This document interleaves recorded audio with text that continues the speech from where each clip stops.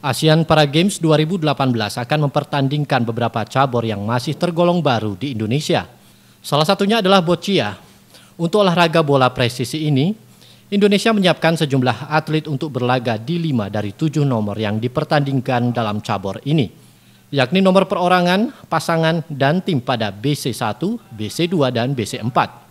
Febrianti Fani yang diturunkan dalam nomor pertandingan individu BC1 menargetkan untuk menyumbangkan medali emas untuk Indonesia.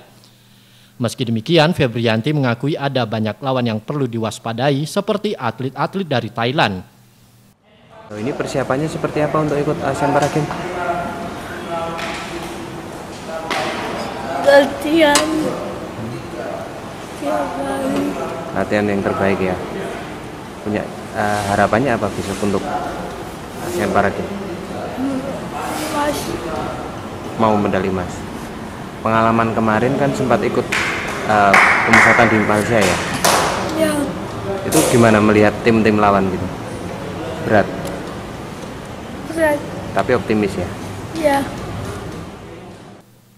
Pelatih timnas boccia, Andrian Perdana Kasih akan mengutamakan pembentukan mental dan strategi para atlet mengingat ini baru pertama kalinya anak asuhnya mengikuti kejuaraan bertaraf internasional. Selain itu, negara lain yang mengikuti cabur ini dalam ASEAN Para Games mendatang banyak yang sudah berpengalaman.